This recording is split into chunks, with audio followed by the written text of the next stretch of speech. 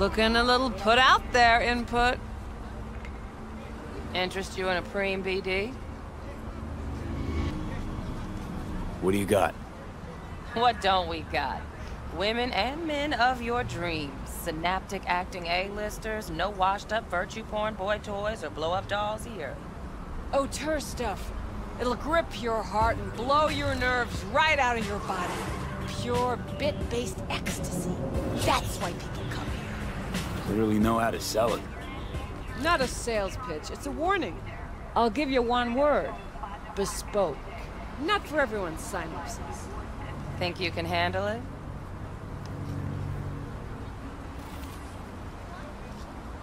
Bespoke? Damn, that sounds promising. I get it, I'm in. Mm-hmm. Couple of things you need to know first. Severe penalties for any unauthorized recording. No drugs, no groping. Someone catch your eye? You do not grab them. You find them in the catalog, ask for a BD, and get yourself a box. I really look that green to you. Like I don't know. Mm-hmm. Door's open. Have fun, input. Welcome to Lizzie's.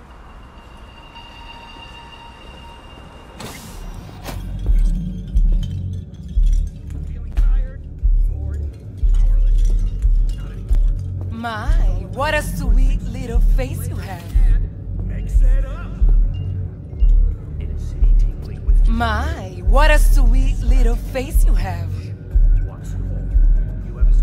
Kiss my dead spunk!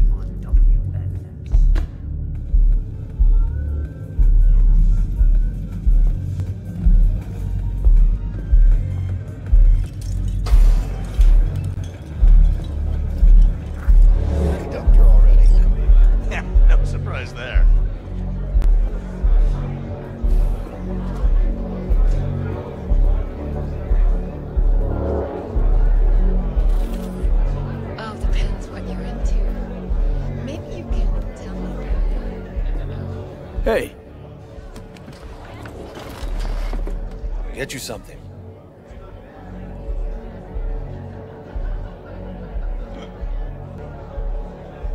so, curious.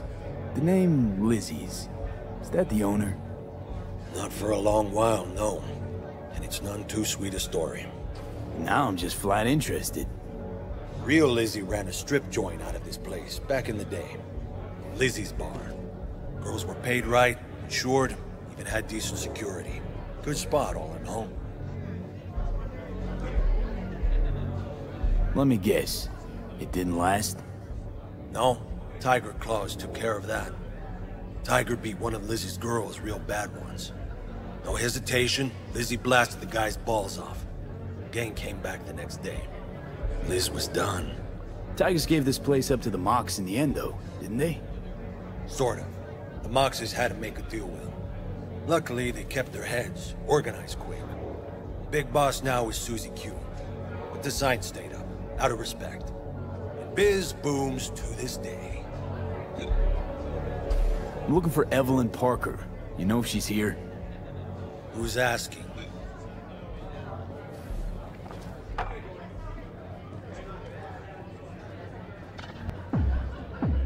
Big tipper. Generous when I get the answers I'm looking for. Appreciate the gesture, truly. But afraid I don't get paid to talk. Opposite, actually. It's all right, Mateo. Waiting for this one.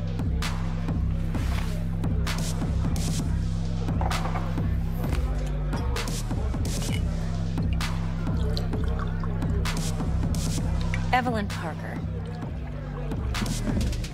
I knew it was you as soon as you walked in.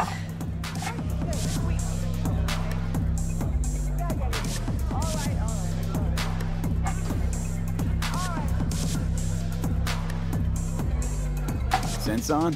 Only tequila I drink. Hmm. How would you know? I like to know everything about the people I work with. Either that or it was just a lucky guess.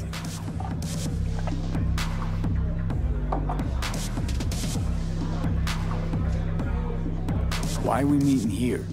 Any particular reason? Actually, it doesn't seem much like your thing, this place. Hmm. I'll take that as a compliment. Come on. Know a place we can talk where ears won't prick up to listen. We'll be in the lounge, Mateo. If anyone asks, we're not here.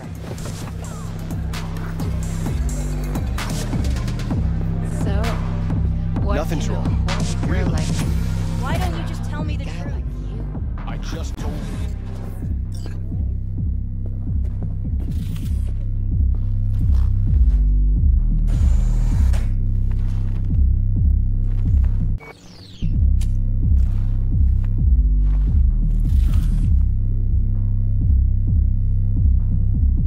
Dex had a load to say about you.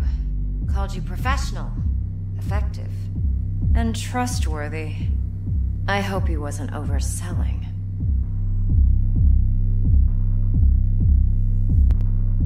V?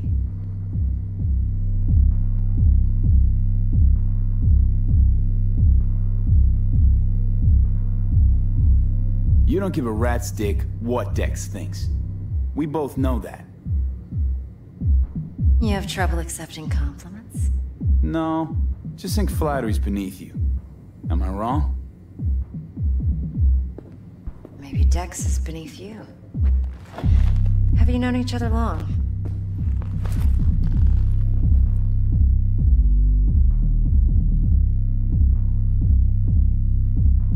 Let's talk biz. I mean, it's nice, but I didn't come here to get my ego stroked.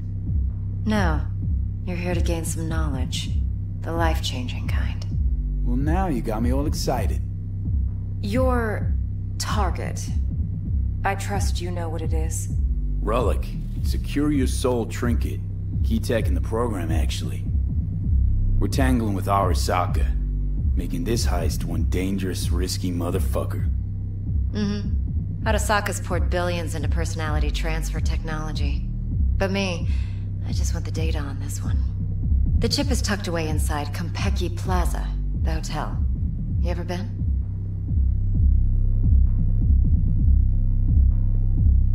Classy corp hotels? Yeah, no. Out of my price range. Hmm. Well, the decor's to die for. As you'll see for yourself. So where's this chip hiding exactly? In a suite on the top floor. The room's occupied by Yorinobu Arasaka. Yorinobu Arasaka? He's in town? Don't you read the scream sheets? The media couldn't get enough of Yori coming to Night City. It was all over the headlines. Anyway, he's heir apparent to the Arasaka Empire. Saburo Arasaka's only surviving son. What? So Arasaka Jr.'s planning to grab the reins while in Night City? Only a handful of people in Night City know what the Arasaka's real plans are. Telling me you're one of them?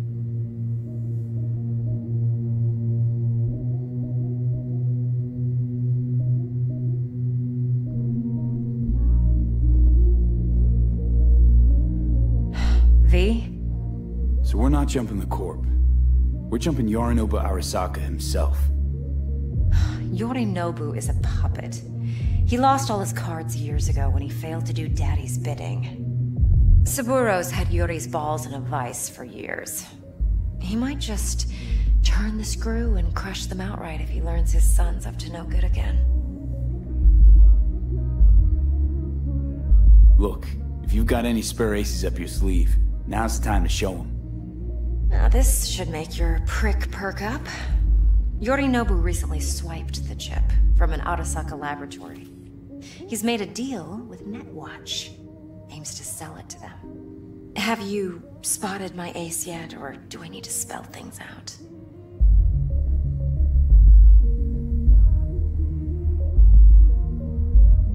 Fine. So no Arasaka security on the device because Yorinobu whisked it away in secret. Now, where's he hiding it? Likely in a specialized container. One that mimics an organic neural environment. On the outside, it looks like an ordinary briefcase. And the case is... You'll see for yourself soon enough. Provided we're done gossiping about the Arasakas. Okay, what's next? Now comes the best part. Follow me. Got something for you. Should help you plan. Brain dance from Konpeki Plaza. How's a brain dance supposed to help? Need facts, not thrills. Think BDs are only good for fondling virtual tits? Jacking off to in those boxes? No. Would you It can be like a very anything else? useful tool.